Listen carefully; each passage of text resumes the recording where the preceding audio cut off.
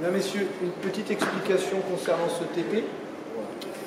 Vous allez devoir dans ce TP mesurer différentes tensions, intensité, énergie avec euh, différents appareils et notamment vous allez devoir utiliser ben, cet élément-là que vous avez sans doute reconnu qui est le compteur EDF. Si j'explique un petit peu cette maquette, vous allez avoir ici une partie donc différentielle, des disjoncteurs qui sont repérés de 1 à 5. Le disjoncteur 1 va couper la prise qui est repérée 1 ici. Le disjoncteur 2 va couper la prise qui est repérée 2. Euh, Donc la petite étiquette, elle est ici. Ensuite le 3, etc. etc. Chaque disjoncteur va sectionner euh, les prises qui sont indiquées sur la maquette. Toujours sur la maquette, vous avez ici le disjoncteur de branchement EDF et enfin un compteur. Alors les compteurs, il en existe deux types. Il existe le compteur à disque, c'est celui qui est présenté ici, et le compteur à impulsion qui va faire des petits pulses. Le but de ce TP est que vous compreniez l'intérêt de brancher différents appareils électroménagers. Il y a des appareils électroménagers qui vont consommer beaucoup de courant et d'autres qui vont consommer peu de courant.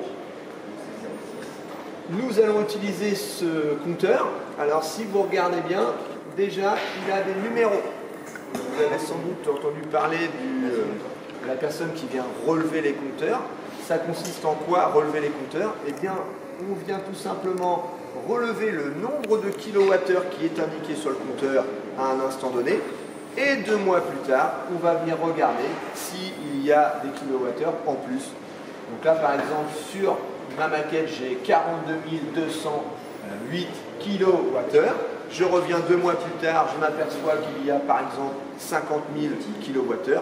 J'aurais donc consommé dans les deux mois 8 000 kWh. Voilà un gros principe. Toujours pour expliquer, parce que vous allez me dire, il y a deux chiffres. Ici, vous voyez écrit HC, qui correspond à heure creuse, et HP, qui correspond à heure pleine, avec des numéros qui sont différents. Tout simplement car ce compteur, c'est un compteur qui est utilisé ce qu'on appelle l'abonnement heure pleine, heure creuse. En heure creuse, bah, c'est la nuit, vous paierez moins cher. Et en heure pleine, bah, c'est la journée, vous paierez bah, plus cher tout simplement. Il va falloir que je mette mon appareil de mesure là-dessus. Or, là, je ne peux pas, je n'ai pas accès pour mettre un appareil de mesure. J'aurai donc la possibilité de prendre ce qu'on appelle un multimètre, sauf que là, où est-ce que je me mets? Je n'ai pas accès. Je pourrais prendre un autre appareil qu'on appelle une pince multifonction. Alors la pince multifonction, elle, a pour vocation de mesurer des ampères à la base et également une tension. Donc elle va peut-être pouvoir également me, mesurer l'énergie, on verra plus tard, mais en gros la pince, c'est un truc qui entoure un fil. Or là, vous voyez, quand je mets mon doigt comme ça, j'entoure pas un fil, j'entoure un câble. Alors voici, ça vous connaissez par cœur, c'est le disjoncteur avec les deux vis en haut, les deux vis en bas. Je vais prendre un exemple, là j'ai un 16 ampères et j'ai raccordé une prise de courant. Là voilà ma prise. Donc pour pouvoir alimenter ma prise, j'ai eu besoin d'un fil de phase, un fil rouge, hop, vis de droite, et d'un fil bleu. Voilà, c'est branché comme ça actuellement. Et là, je suis venu rajouter mon gaufrier. Ça, c'est mon gaufrier. Je dessine mal, mais peu importe. Il y a le câble. Et dans le câble, au bout du câble, il va y avoir un truc qui ressemble à ça, avec les deux petites broches qui vont venir, qui sont actuellement crochées sur ma prise de courant. Donc moi, je vais avoir besoin de mesurer, je répète, une tension U en volts. D'accord? Je vais avoir besoin de mesurer une intensité. Intensité, j'écris pas très bien. I en ampères. Et je vais avoir besoin également de mesurer, si possible, une énergie en water. Je ne sais pas comment je vais faire. Alors, voilà le principe. On va déjà commencer par euh, les volts. Bah, les volts, euh, c'est entre eux toujours une phase et un neutre. Or là, je n'ai pas du tout accès à la, phase et au neutre. Vous voyez, normalement, les fils, ils partent de là, du disjoncteur, et ils vont directement sur la prise de courant là. Alors, pour vous éviter du tracas, nous, ce qu'on a fait, on a ressorti, on a repris deux fils, et on les a fait apparaître ici. Je ne sais pas si vous voyez, je vais enlever les bornes. Voilà. Et là, vous avez vu, il y a écrit U. Ce qui veut dire que si vous voulez mesurer la tension, ben, il suffit tout simplement de prendre un voltmètre ou une pince multifonction. Ça, c'est une pince multifonction. D'accord? Comment je la reconnais? Parce qu'il y a des bornes. Je peux brancher des trucs dessus. Multifonction. Si j'ai pas ces petites bornes-là, c'est ce qu'on appelle une pince ampère-métrique. Ça mesure que les ampères. D'accord? Alors si je veux mesurer les ampères, par exemple, dans un tableau électrique, ben, je veux mesurer, par exemple, le courant qui passe dans celui-là. Je fais ça, c'est fini. Ça m'affiche directement le courant. D'accord? Quand j'ai la possibilité de brancher des choses dessus, c'est qu'elle fait les volts aussi. Donc elle fait et les ampères, si j'ai envie, et les volts. Et après, c'est une calculatrice. Elle fait les volts fois les ampères. Vous ne connaissez pas la formule. C'est ce qu'on appelle la puissance. D'accord Donc, elle vous affichera les watts. Et avec les watts, je pourrais trouver l'énergie. Tout ça, c'est ce qu'on appelle les, formules d'électricité. D'accord Donc, moi, là, ce que je veux, bah, si je veux mesurer la tension, la tension de mon gaufrier, bah, c'est tout simple. Hein. Je prends une borne là, une borne là. D'accord Je prends mes deux fils et je viens les coller ici. Et là, je sais que ça, c'est la tension qui est appliquée sur toutes les prises de courant de ma maquette. Ok? Si je veux connaître la tension, je vous rappelle, il y a plusieurs réglages. Et là, je vois écrit V. Bah, v, c'est les volts. Il suffit juste d'ouvrir ma pince comme ça, puis j'attends. Hop Puis là, ça va m'afficher V. Alors, ma pince, si vous regardez bien, là, en bas, elle clignote. D'accord? Il y a un truc avec écrit AC, il ne sait pas trop. D'accord? Ce qu'il faut savoir, c'est qu'il existe deux types de courants en électricité. Il y a le courant qu'on appelle alternatif, celui qui est donné par EDF. Dès que vous entendez le mot phase, neutre, c'est de l'alternatif. Et le deuxième type de courant, c'est le courant continu. Dès que vous entendez plus, moins, une pile A, plus, moins, courant continu. Phase, neutre, A, EDF. D'accord? EDF, c'est du courant alternatif, courant current, alternatif, alternatif alternatif, current, position AC. D'accord Et le plus, le moins, courant continu. D'accord Plus, moins, courant continu. Courant droit, direct. Direct, current, DC. AC, DC, c'est pas le groupe de musique. On est d'accord Là, il faut lui dire à l'appareil, c'est quoi nous? C'est de l'alternatif ou c'est du continu? Est-ce que j'ai un plus et un moins ou est-ce qu'on me parle de phase et de neutre ici? Faisait neutre. Donc là, il va falloir que je me mette en AC. Donc là, hop, je mets mon sélecteur en volt. On a une phase, on a un neutre. Je vais dire à mon appareil que l'on est en alternative. Vous voyez, la clignote, il a écrit DC, AC, c'est pas trop. J'appuie sur le bouton jaune. Là, j'ai appuyé une fois, il clignote plus et il me dit je suis en DC. Ah non, moi je suis pas en DC, j'ai pas de plus, j'ai pas de moins. Donc je suis pas en DC, je rappuie une deuxième fois. Alors ça, on va le passer pour l'instant hop, je me mets en AC tout court. D'accord Dès que je vois écrit AC, c'est bon, mon appareil il est correctement réglé. Ok Il suffira juste maintenant de mettre pardon, mes deux cordons dessus, comme ça. Hop, et là je mesurerai les, les volts. Est-ce que c'est clair pour l'instant Ouais Alors la deuxième chose que je vais vous demander de mesurer dans ce TP, c'est le courant. Alors le courant, normalement le courant c'est un ampère-mètre que j'utilise. D'accord Donc il faudrait que je prenne un ampère-mètre. Et le principe, il faudrait que je débranche ce fil-là de manière à venir insérer un ampèremètre ici. Donc en gros, je débranche, je rentre dans mon ampèremètre, je ressors mon ampèremètre et je vais à mon disjoncteur. Bref, ça voudrait dire qu'il faudrait que je démonte mon tableau, que je démonte un fil, que je vienne le mettre sur la page. Bref, on va pas s'embêter, on va prendre un truc beaucoup plus simple. On va prendre la pince. Alors la pince, ce qu'il faudrait, c'est que je j'entoure simplement mon fil, comme ça. Voilà, ça c'est la pince. Hop, hop, voyez J'ai juste entouré le fil, soit celui de phase, soit celui de neutre, puisque ça fait une boucle à chaque fois que je branche un élément, vous vous rappelez. Hein faut toujours que ça fasse une boucle, hein, pour qu'il se passe des choses. Donc là, il faudrait que j'entoure ce fil-là, ou ce fil-là, peu importe. Alors nous, ce qu'on a fait, on vous a arrangé le truc. Parce que là, sinon, ça voudrait dire que je démonte mon tableau, puis que je vienne me mettre sous le fil de phase du disjoncteur. Ok?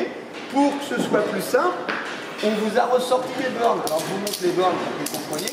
Hop Je prends par exemple le C, là, celui-là, là, le 1. Je pars de la phase. Normalement, je devrais arriver sur la prise directement, la une comme ça. D'accord? Avec un fil rouge qui part de là et qui va là. Ben, nous, on a fait un truc sympa, nous. On est parti de là et on a été à cette borne-là. D'accord? Donc je pars de la phase, je vais là. Je repars de là, je vais là. Donc en gros, j'ai coupé volontairement le fil. Ce qui veut dire que là, si je mets mon disjoncteur en route, j'ai pas de jus carré sur ma prise, j'ai coupé le fil de phase. Par contre, vous avec un petit cordon, c'est les petits cordons qui sont sur la maquette, quand je fais ça, là, là, le fil il part, le fil de phase il part, il arrive à la borne là, et il continue, et là je suis en train d'alimenter ma prise. Quel est l'intérêt d'avoir fait ça? De pouvoir serrer ma pince. Et là, j'ai pas besoin de monter mon tableau. Là, je mesure bien le courant qui va aller dans la prise numéro 1. Est-ce que c'est clair? Ouais Alors ça, bah, c'est pareil, il faudra que je me mette ce en ampères. Donc là, hop, j'allume ma pince.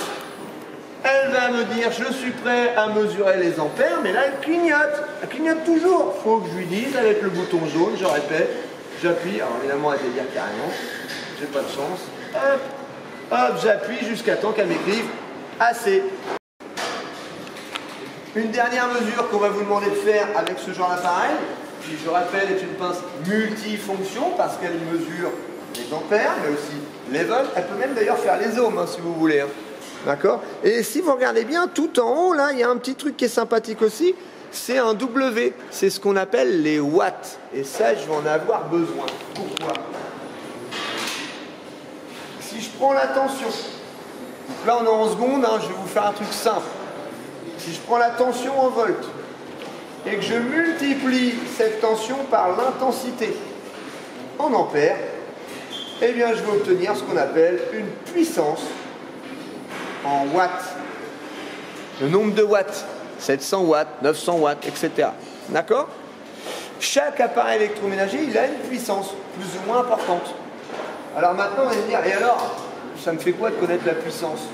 Ben, Si je prends un exemple, si je prends un truc qui consomme 900 watts, ouais, et puis que je l'utilise pendant deux heures, ouais, là je vais me mettre là, c'est plus facile pour écrire, 900 watts pendant deux heures, je mets un petit multiplié entre les deux, 900 watts fois deux heures, bah, j'ai consommé 1800 watts. Oui, la puissance que multiplie le temps, la puissance en watts, que multiplie le temps en heures, ça s'appelle l'énergie en wattheures. Et c'est ça que DF vient relever, le nombre de wattheures ou le nombre de kilowattheures que vous avez consommé. Donc vous prenez un appareil électroménager, vous le faites tourner pendant 3 heures, vous avez votre appareil, il avait une puissance, vous l'avez utilisé pendant un certain temps, donc vous avez consommé une énergie, l'énergie que vous allez payer auprès d'EDF. Est-ce que c'est clair? Donc moi ce que je vais vous demander, c'est pour chaque appareil électroménager de mesurer U, de mesurer I, et puis ce machin-là, ben, c'est comme une calculatrice. Si vous lui donnez U et si vous lui donnez I, en vous mettant sur la position W, il vous donnera les watts de votre appareil électroménager. Mais il faut lui donner les deux. Ça veut dire quoi? Ça veut dire qu'il faut que je lui donne les ampères, schlack, mais aussi que je lui donne la tension, U. Si vous lui donnez ces deux éléments-là, ben lui fait le calcul, U fois I. Il suffit juste d'ouvrir la molette, de vous mettre en watts, et il vous donnera la puissance de votre appareil électroménager. Est-ce que c'est clair? Ouais? Donc, quand vous avez votre puissance d'appareil électroménager, vous avez P, d'accord? Si maintenant je vous dis, hey, je fais tourner, je sais pas moi, mon truc de 700 watts pendant une heure, 700 fois 1, j'ai consommé 700 watts Avez-vous compris déjà l'utilisation des appareils de mesure? D'accord Et le but du TP, ça va être ça, de changer à chaque fois d'appareil électroménager, de mesurer U, I, P. Et de P, après, avec un petit calcul, avoir W, l'énergie. Ouais La deuxième chose que je vais vous demander, après les mesures classiques U, I, P et le calcul de W, je vais vous demander de me faire le calcul d'énergie, mais maintenant avec le compteur à disque. Alors, pour ce faire, vous avez donc un disque ici, et vous avez une petite partie noire. Je ne sais pas si on la voit à la caméra, mais il y a une petite partie noire. Si j'utilise un appareil électrique qui demande peu d'énergie, le disque va tourner tout doucement. Si maintenant je change d'appareil, je prends quelque chose qui demande beaucoup d'intensité, le disque va tourner très rapidement. Ce que je vais vous demander, étape numéro 1, pour, pour chaque appareil électroménager, de me mesurer avec un chronomètre, votre téléphone est exceptionnellement autorisé, avec un chronomètre, de me mesurer pour chaque appareil électroménager le temps que met le disque à faire un tour. Une fois que vous aurez le temps autour, on me dit ici une information capitale qu'on appelle la constante du compteur. La constante du compteur, c'est égal, sur ce compteur-là, 4 Wh pour chaque tour de fait. En gros, à chaque fois que vous allez faire un tour, vous allez consommer 4 Wh. Alors, on va revenir sur la petite feuille.